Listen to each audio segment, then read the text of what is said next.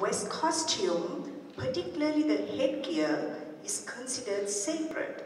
The costumed Ves dancer epitomizes Sri Lankan Kandyan dance. Please welcome the talented Beheri traditional dance group all the way from New York.